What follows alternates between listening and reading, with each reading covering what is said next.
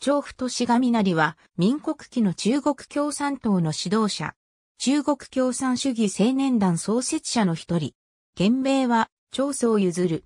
最初期の共産党活動家であり、中国からソビエトロシアコミンテルンに送られた最初の革命家とされている。1927年の公衆放棄を指揮し戦死した。チャンス省常習士、竹進出身。1915年、北京大学に入学し、同年冬に天津北洋大学法科に転入。この時に社会を改革する雷になるとの志から、太雷と名乗るようになる。1919年には5.4運動に参加し、この中で李大将と接触し、マルクス主義に触れたとされる。1920年10月に北京のマルクス主義研究会に参加。東中夏と共に労働学校を展開、中国共産党の準備組織に加わり、1920年11月に中国共産党宣言をロシア語から翻訳、寄贈したとされる。その後天津で社会主義青年団を組織した。張はこのように早々期からの中国共産党員、コミンテルンに派遣された最初の中国共産党員と認識されているが、その入党や入り路の経緯についてはほとんど資料が残されておらず、1921年の入り路以前に中国の共産主義グループとどのように関わりがあったのかは必ずしも明らかではない。石川義弘が整理したところによれば、蝶は学生時代に天津でボルシェビキシンパのロシア人と接触し、社会主義青年団を結成。その代表として、独断でいるロしたところを、中国人活動家を求めていた、コミンテルン執行委員会極東初期局のシュミアツキーの信任により、極東初期局中国化初期に任命された。1921年3月からモスクワで開かれた第3回コミンテルン世界大会では、中国の共産主義グループ代表として出席した。この大会では、中国社会党や少年共産党も代表権を求めており、こと中国社会党の代表権問題にあたっては、趙はいよいよ、秀松、吉原太郎や朝鮮の党の代表らと共に、中国社会党への代表権付与に反対する書簡を宛てに送っている。同時期の極東初期局の会議記録によれば、趙はこの時ボイチンスキールニン語の陳独州らによる上海の組織との接触が一切ないまま、シュミアツキーの助力によって代表権を認められていたという。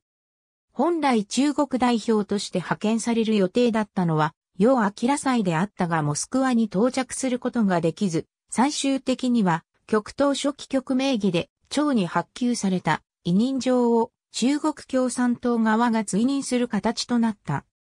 1921年8月は追って開催される極東諸民族大会のテーゼについて日本との連絡確率の観点から特に日本には確実に送付しなければならないと決定した。これを受けて同大会の組織者であった長は中国代表の人選の傍ら日本代表の派遣工作を行うこととなった。マーリンの要請により10月初頭から12日にかけて日本に滞在し、日本の社会主義者と接触した。セアリ島の予診調書によれば、長は修復会の紹介状を持って10月5日に、背の下宿を訪ね、坂井俊彦への面会の手はずを整えた。長は何度か坂井と面会し、近藤映像を紹介され、最終的に坂井、山川は大会への代表派遣を承諾し、近藤が代表の人選に当たることとなったという。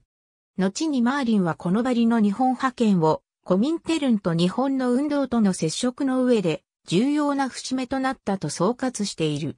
同大会の小生状も長が寄贈し、中国、朝鮮、日本、モンゴルなどの党に送付された。大会は11月11日にイルクーツクで開催される予定であったが、メンバーが他の問題でモスクワを離れられなくなったことからイルクーツクではまず予備会議が開かれることとなった。長はその総会で演説を行っている。1922年8月29日、いわゆる7月通知、8月指示に関する中共中央、聖子会議にマーリンの通訳として参加。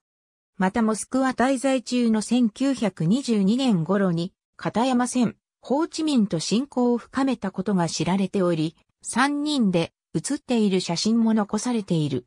1924年、党の要請で中国に帰国。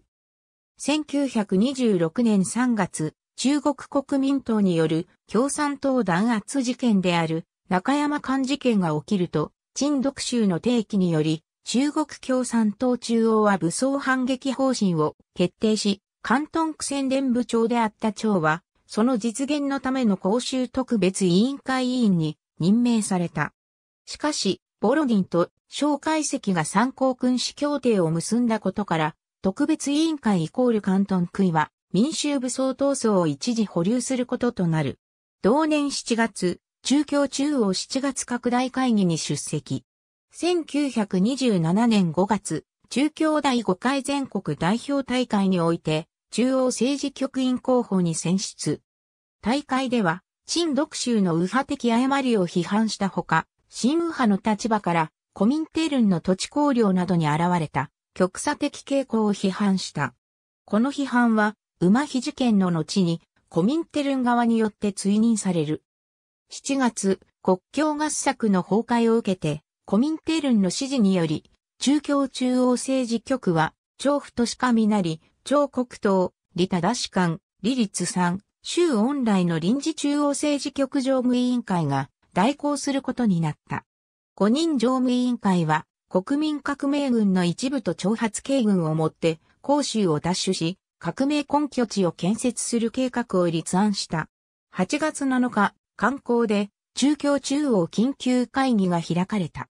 ここにおいて、長はかつて、新独州の擁護者であったことから、政治局中枢から外され、臨時政治局候補員となる。後中京関東省委書記、中京中央南方局書記となり甲州記議の指導者に指名される。